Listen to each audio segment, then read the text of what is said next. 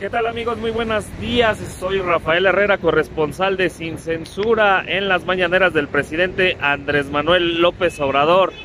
Hoy en la mañanera el presidente convocó a todos sus seguidores, a todos los que simpatizan, a todos los que están apoyando la cuarta transformación, para que este primero de diciembre a las 11 de la mañana vengan al Zócalo Capitalino, vengan aquí a presenciar el primer informe anual del presidente Andrés Manuel López Obrador.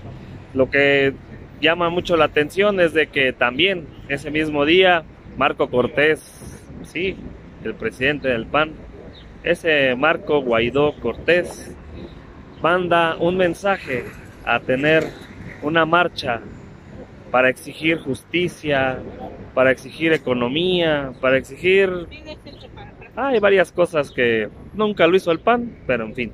Bueno, el tema es de que el presidente Andrés Manuel López Obrador va solicita el apoyo de toda su gente, de toda la gente que simpatiza para este primero de diciembre a las 11 de la mañana, lo cual también les informo que vamos a tener una cobertura especial en Sin Censura para que estén muy atentos. También presentó en la mañanera el presidente Andrés Manuel López Obrador este programa paisano donde van a ayudar a todos nuestros mexicanos, a todos nuestros nacionales que vienen de Estados Unidos a México en las fiestas decembrinas.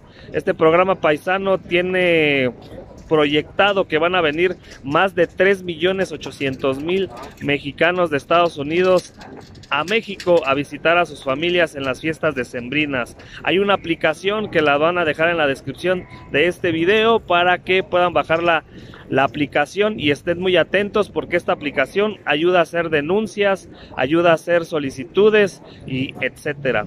También el presidente Andrés Manuel López Obrador se vuelve, sí, se vuelve a burlar de la estela de mantecada, de la suavicrema, mejor dicho, de la suavicrema de la corrupción de Felipe Calderón y fue cuestionado sobre el tema, la pregunta obligada, yo creo, de esto, de este, de este día, sobre el tema de este Trump que llama a los narcotraficantes mexicanos como terroristas. Dice el presidente Andrés Manuel López Obrador que no va a entrar a detalles, que va a esperar a la disposición o va a esperar la respuesta de Marcelo Ebrard que más adelante, ya sea hoy o mañana, va a dar a conocer la postura y las pláticas que tiene el gobierno de México con el gobierno de Estados Unidos. Hay que estar muy al pendiente, este tema no es nada fácil, es un tema delicado, pero vamos a esperar qué es lo que, qué es lo que resuelven, en este caso la Cancillería.